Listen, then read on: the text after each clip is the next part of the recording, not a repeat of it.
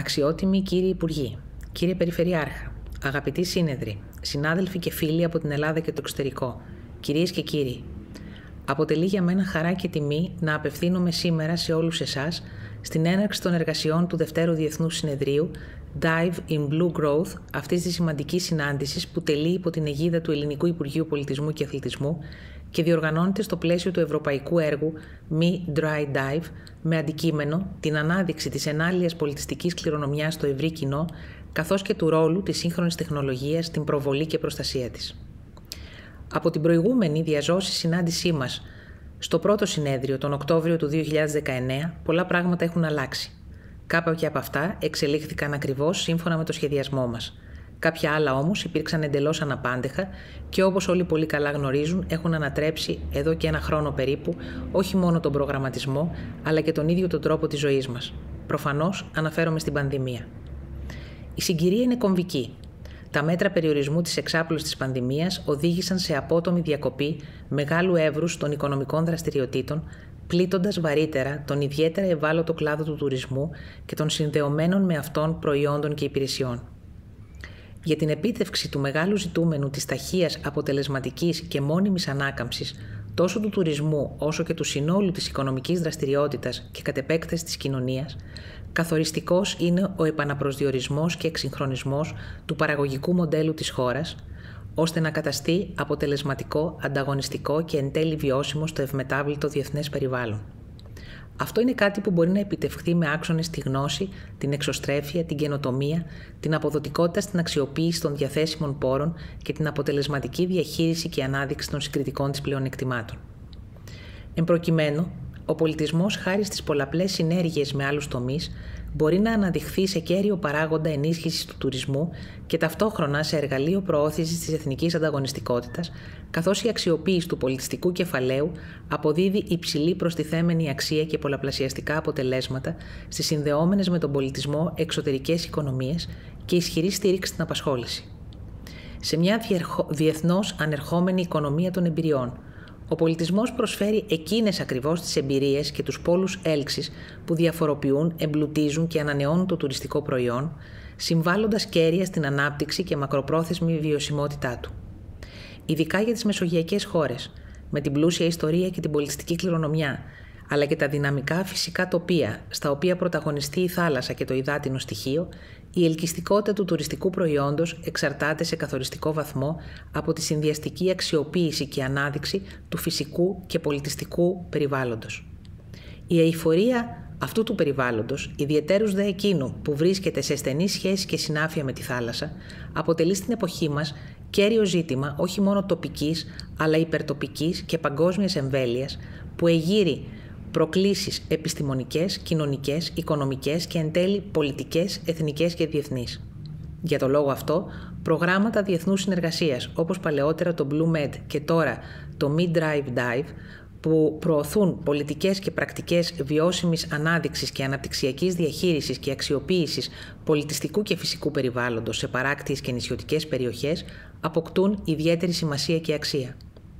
Σε αυτό το πλαίσιο, η προώθηση του καταδυτικού τουρισμού αποδεικνύεται ότι υπό τις κατάλληλες προϋποθέσεις μπορεί να συμβάλλει σημαντικά σε αυτόν τον στόχο. Ο καταδυτικός τουρισμός καταγράφει διαρκώς ανωδικές τάσεις, καθώς η εραστεχνική καταδυτική δραστηριότητα γίνεται όλο και πιο προσφυλής επιλογή αναψυχής. Ο αριθμός των πιστοποιημένων αυτοδιτών διεθνώς αυξάνεται εκθετικά μαζί με τον κύκλο εργασιών της καταδυτικής βιομηχανίας. Η δημιουργία καταδυτικών πάρκων σε ενάλλειους αρχαιολογικούς χώρους, τόπους ιστορικών ναυαγίων ή ιδιαιτέρου φυσικού κάλους υπήρξε και παραμένει για την ελληνική πολιτεία και το Υπουργείο Πολιτισμού και Αθλητισμού ένα τολμηρό εγχείρημα μεγάλης ευθύνης και μία πρόκληση με ειδικές απαιτήσεις και προϋποθέσεις που υπαγορεύονται από τρεις βασικές αναγκαιότητες. Την τήρηση της ασφάλειας του κοινού, τη διαφύλαξη του φυσικού περιβάλλοντος, την προστασία της πολιτιστικής κληρονομιάς. Όσον αφορά στο θεσμικό πλαίσιο, οι σχετικές επιταγές του Συντάγματος και του Αρχαιολογικού Νόμου εξειδικεύτηκαν με θεσμικές παρεμβάσεις, οι οποίες βελτιώθηκαν και εξυγχρονίστηκαν με το νόμο 4688 του 2020, ειδικές μορφές τουρισμού και διατάξεις για την τουριστική ανάπτυξη, με τον οποίο ξεπεράστηκαν προηγούμενοι ανασταλτικοί περιορισμοί και δημιουργήθηκαν ευνοϊκότερες προποθέσει ανάπτυξης του καταδυτικού τουρισμού. Οι όροι ασφαλείας, οι προποθέσει λειτουργίας και οι επιτρεπόμενες δραστηριότητες εντός καταδυτικών πάρκων και επισκέψιμων ενάλειων αρχαιολογικών χώρων και ναυαγίων εξειδικεύονται κατά περίπτωση με την έκδοση επιμέρους αποφάσεων.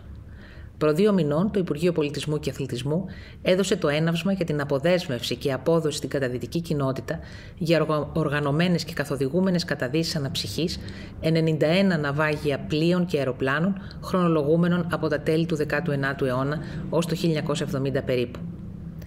Την τελευταία διετία υλοποιείται με ευρωπαϊκή χρηματοδότηση από το Υπουργείο Πολιτισμού, την Περιφέρεια Θεσσαλίας και τους Δήμους Αλονίσου και Αλμυρού στη βάση προγραμματικής σύμβασης πολιτισμικής ανάπτυξης το έργο της δημιουργίας τεσσάρων επισκέψιμων ενάλλων αρχαιολογικών χώρων στις Βόρειες Ποράδες και τον Παγαστικό. Πέρσι το καλοκαίρι, εν μέσω πανδημίας, ξεκίνησε πιλωτικά η λειτουργία του χώρου του ναυαγίου της Περιστέρας στην Αλόνισο. Η διεθνής υποδοχή υπήρξε διθυραμβική.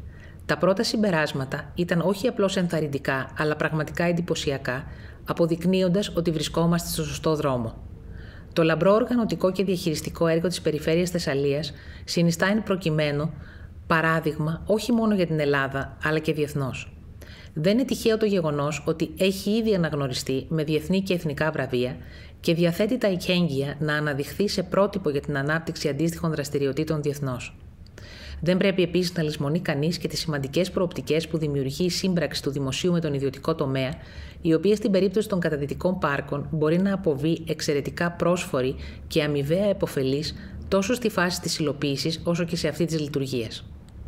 Καταλήγοντας, θα ήθελα να τονίσω τις αναπτυξιακές δυνατότητες που η αξιοποίηση των επισκέψιμων ενάλλων αρχαιολογικών χώρων και των καταδυτικών πάρκων γενικότερα προσφέρει στο πεδίο της έρευνας και της εκπαίδευσης μέσω της σύμπραξης των συναρμοδίων υπηρεσιών του Υπουργείου Πολιτισμού και Αθλητισμού με ακαδημαϊκούς, ερευνητικούς και άλλους φορείς. Τα πρώτα σημαντικά δείγματα είναι ήδη ορατά. Τόσο η φυσική όσο και η εικονική, με τη βοήθεια της σύγχρονης ψηφιακής τεχνολογίας πρόσβαση στον ενάλλειο κόσμο της πολιτιστικής και φυσικής κληρονομιάς, στηρίζεται σε συνέργειες αυτού του είδους. Ειδικά, χάρη στην εικονική περιήγηση, ο υποβρύχιος κόσμος καθίσταται προσιτός στο συντριπτικό ποσοστό του κοινού, το οποίο δεν έχει τη δυνατότητα ή την ικανότητα της φυσικής κατάδυσης. Οι τελευταίες αυτέ παράμετροι ήδη αξιολογούνται επισταμένως από κοινού με τη μουσιακή πολιτική μας, προκειμένου να ενταχθούν σε ένα ευρύτερο πλαίσιο προσέλκυσης του ενδιαφέροντος και της παρουσίας επισκεπτών. Σε αυτό ακριβώς το πλαίσιο εντάσσεται και η δημιουργία του Μουσείου Εναλίων Αρχαιοτήτων στον Πειραιά, που φιλοδοξούμε να ξεκινήσει άμεσα με τη χρηματοδότηση από το Ταμείο Ανάκαμψης. Αφού σας ευχαριστήσω όλους, κύριε Περιφερειάρχα, φίλε Κώστα Αγοραστέ, ιδιαίτερα εσένα, εύχομαι κάθε επιτυχία στις εργασίες του συνεδρίου σας.